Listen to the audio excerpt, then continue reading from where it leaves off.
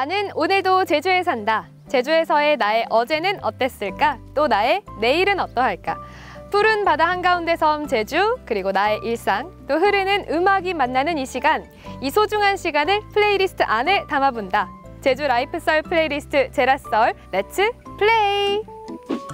맞아, 많이 긴장돼 있어요. 몸도 거의 가만히 지금 이 의자에 보시면 진짜 깜짝 놀랄 거예요. 제가 진짜요? 네, 불꽃처럼 예쁜 생겼. 남자처럼 딱 생겼어요. 또 그 형님도 서핑 하시거든요. 아, 서핑하시는 분들 다 연결돼 있거든요. 아실 수 있어요. 중문 사람이에요. 이제 방송해야 아, 예. 불꽃 나 오. Let's play!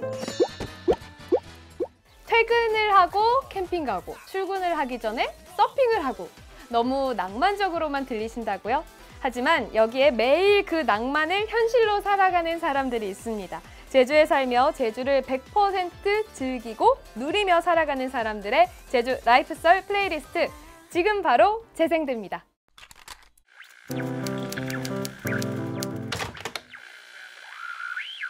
네, 오늘은 저희가 처음으로 야외에 나와서 이렇게 방송을 진행하고 있어요. 오늘 두 분 함께 해주셨는데요. 권태훈님과 한태희 씨 함께 하겠습니다. 안녕하세요. 쇼핑이 좋아 제주도에 정착하게 된 한태희라고 합니다. 네, 반갑습니다. 네, 안녕하세요. 제주에서 백패킹 캠핑하고 있는 토박이 권태훈입니다. 네, 너무 반갑습니다. 서핑을 통해서 제주를 즐기고 한 분은 또 캠핑을 통해서 제주를 즐기고 있는데 어, 어떤가요? 음, 나는 좀 이 맛에 산다 라고 좀 자랑 좀 해주실까요? 나의 일상에 대해서? 저는 사실 사계절 여름을 바라고 살고 있는데 그래요? 네. 근데 제주도가 우리나라에서 가장 따뜻하잖아요. 맞아요. 겨울에도 사실 따뜻하거든요. 그쵸. 12월까지. 음. 그래서 제주도에 좀 살게 된 것도 있는 것 같아요. 아. 사실 여기 오기 전에도 지금 바다에서 놀다가 네, 수영하다가 왔거든요. 어 그래요? 네. 그러면은 일주일에 한 며칠 정도 물에 들어가세요? 거의 뭐 출근하기 전에도 아침에도 물놀이를 할 수 있어서 뭐 와. 가능하면 매일 오. 시간이 나면 항상 가려고 거의 해요. 매일? 네. 와 그렇군요. 대박. 태우님은 네. 어떤 맛에 좀 제주에 살아가면서 캠핑을 하시나요? 자연을 느끼면서 캠핑하는 게 너무 좋아서 그래서 요즘 캠핑을 즐기면서 제주를 즐기고 살아가고 있습니다. 네. 아까 태희님 같은 경우에는 거의 매일 서핑을 한다 했는데 거의 매일 캠핑을 하시나요? 아, 매일은 안 되고요. 그쵸, 네. 아무래도 제 개인적인 일도 있고 뭐 아. 일도 있기 때문에 시간이 나면은 캠핑을 하려고 네, 하고 있습니다. 그러니까 미리 막 계획을 하고 이런 게 아니더라도 네. 아 오늘 캠핑 한번 갈까 하면 바로 캠핑을 떠나시는군요. 좀 즉흥도 좋아해가지고 오. 아, 오늘 날씨가 너무 좋은데 음. 떠나야겠다 하면 오. 떠나고.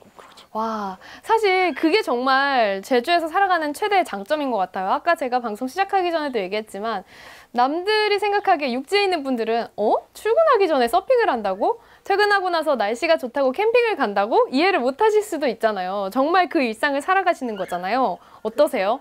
아까도 얘기했지만 출근 전에 진짜 서핑 하시는 거예요? 뭐 새벽에도 하고 출근이 가능하거든요. 직장인의 삶을 사시면서 서핑을 하시는 분들도 많아요. 오, 많죠. 저희 회사에도 있어요. 네, 그러면은 이제 아침에도 서핑을 할 수 있기 때문에 아침에 두 시간 뭐 서핑하고 출근하시는 분들도 많고 와. 뭐 퇴근하고도 여름에는 이제 해 늦게 지니까 음. 퇴근하고도 충분히 뭐 두 시간 정도 서핑을 할 수 있거든요. 정말 제주는 바다가 늘 가깝잖아요. 어디에 살던 가깝기 때문에 가능한 일인 것 같아요. 캠핑도 이렇게 가능한가요? 출근하기 전에 아니면 퇴근하고 나서? 보통 뭐 출근박, 퇴근박 이렇게 하시는 분들도 있고 네. 어, 또 제주도 특성상 뭐 숲을 가고 싶으면 숲 바로 갈 수 있고 음. 네, 바다 가고 싶으면 사면이 바다기 때문에 어디든 내가 원하는 바다로 갈 수 있고 네, 그래서 저는 바다 가고 싶으면 바다에서 캠핑하고 어. 숲에 가고 싶으면 숲에서 캠핑하고 네, 그렇게 제가 원하는 대로 이렇게 자유롭게 캠핑할 수 있어서 이게 참 제주도의 장점인 것 같아요. 네. 사실 그냥 개인적으로도 그렇고 너무 궁금한 게 많아요. 캠핑을 하고 서핑을 하면서 제주에 있는 캠핑장과 서핑장을 그래도 많이 다녀보셨을 거 아니에요. 진짜 여기 너무 괜찮다. 이런 장소와 아, 이 시간대에 하는 게 제일 좋다. 이런 시간과 장소 좀 각각 알려주실 수 있나요? 제주도는 돌이 되게 많아요. 그쵸, 그래서 그쵸. 이제 돌이 있는 포인트 같은 경우에서 조금 초보자분들이 서핑을 하시기에는 위험한 상황이 너무 많이 올 수 있는데 이제 중문 색달해변은 일단 모래로 되어 있고 그리고 앞에서 이제 처음 입문하시는 분들이 앞에서 강습을 받거든요. 네. 깊이 들어가지 않고 그럼 발이 닿기 때문에 조금 안전함을 느낄 수 있어요. 아, 수심이 조금 얕은 편이군요. 그리고 서핑을 하는 그 주기가 제주도에 물때가 있어요. 물이 이제 간만조 차이가 있는데 만조에는 서핑을 못 해요. 파도가 없어져요. 아, 그래요? 네, 그래서 이제 간조 시간을 맞춰서 물론 습판마다 조금씩 다르긴 한데 간조 시간 앞뒤로 뭐 두세 시간 정도의 서핑을 할 수가 있어요.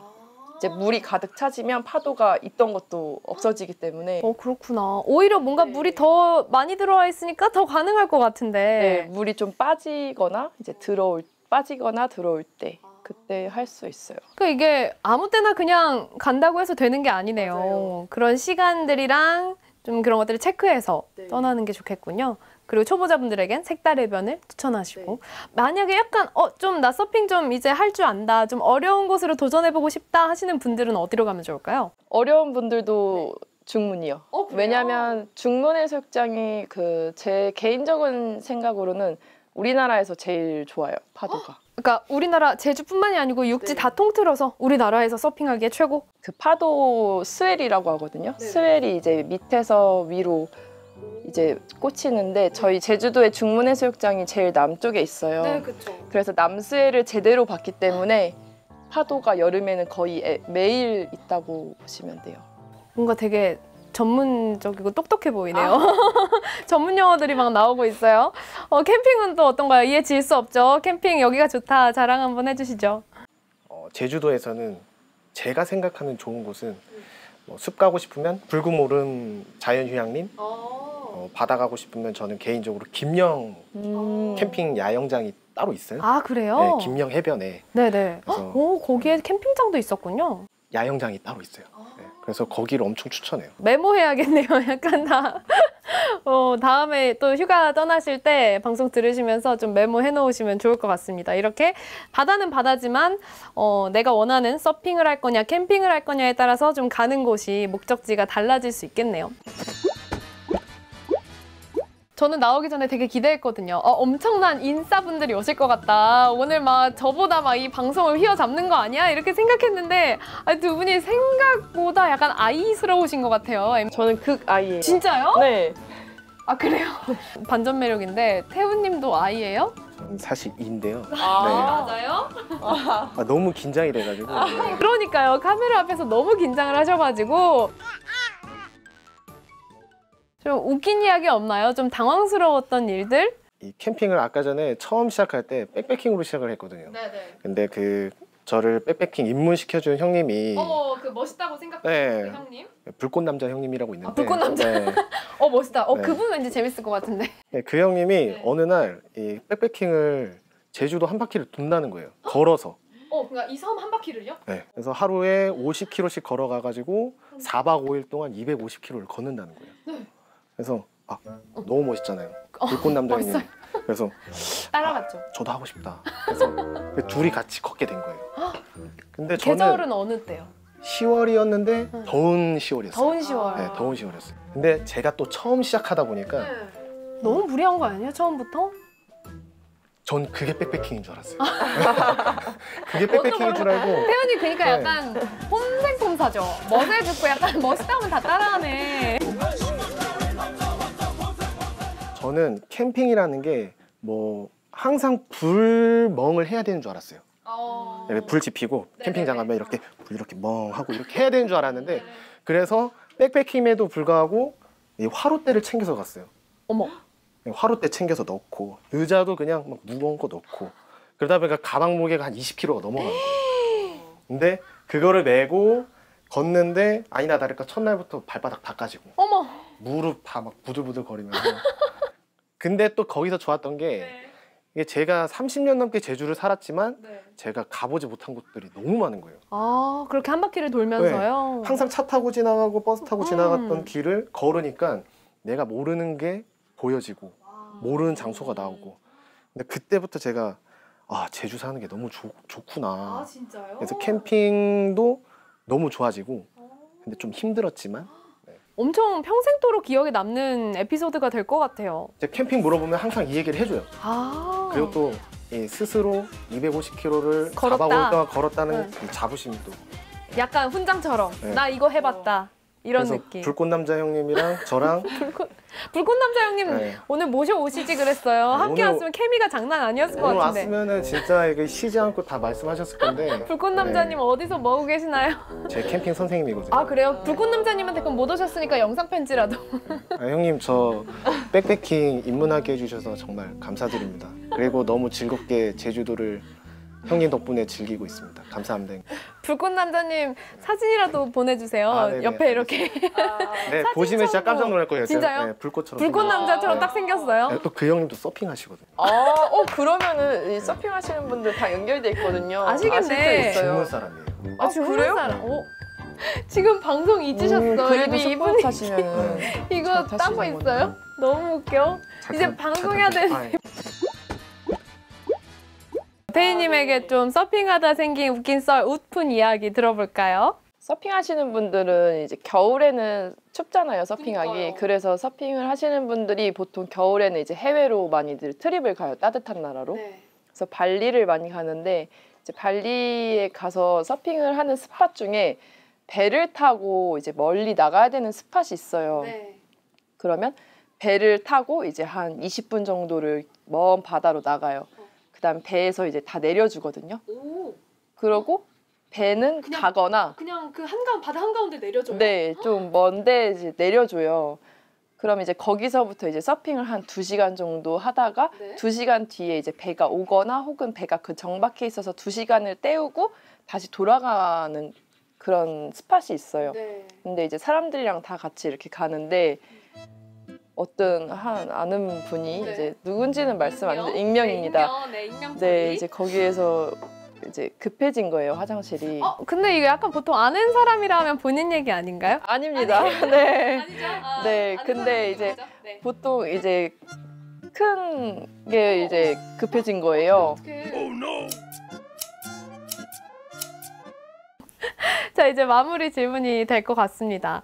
두 분에게 앞으로의 제주살이는 어떨 것 같아요? 나의 앞으로의 제주살이에 대한 어떤 그림, 꿈 같은 게 있을까요? 저 같은 경우는 일단은 지금 제주에 살면서 제 일을 하면서 서핑을 즐기고 있는데 네. 어쨌든 처음에 말씀드렸다시피 저는 사계절 여름을 꿈꾸고 있는 사람이라서 네. 제가 이루고 싶은 건 9개월 동안 제주도에 살면서 워커홀릭을 하면서 취미로 서핑을 하고 이제 제주도 겨울에는 해외에 나가서 사는 게 아, 그러니까 제가 이루고 싶은 꿈입니다. 곧 이루실 것 같은데요? 네, 곧이었으면 좋겠네요. 9개월 바짝 일하고 네. 그렇죠. 3개월 쉬는 게 물론 쉽진 않지만 맞아요. 또 그런 꿈이 있기 때문에 오히려 더 그 9개월을 열심히 일을 하시게. 될 수 있는 원동력이 될 것 같아요. 뭐 겨울 옷이 필요 없겠네요. 그렇죠. 겨울은 필요 없죠. 근데 사실 아시잖아요. 12월까지 저는 제주도에서 12월까지 쪼리 신고 다녔거든요. 진짜요? 네. 어쩐지 그 모양 판 모양이. 네. 아, 두 분 어떻게 방송 끝내야 되는데 이제 친해지셨어. 태우님은 앞으로의 나의 제주살이에 대한 그림이 있을까요? 음, 저는 이 아름다운 제주를 더 느끼려고 요즘 올레길을 걷고 있어요. 네, 1코스부터 지금 차근차근 걷고 있는데 네. 지금 100km를 돌파했거든요. 네, 올해는 이 올레길을 완주하자. 그러니까 그 각자의 계절의 매력을 마음껏 즐기면서 캠핑과 더불어서 살아가는 제주 라이프. 와, 멋지네요. 두 분의 그 그림이 꼭 현실로 될 수 있기를 제라썰 그리고 제가 또 응원하겠습니다. 오늘 나와주셔서 두 분 너무너무 감사합니다. 네, 감사합니다. 고맙습니다. 네, 감사합니다.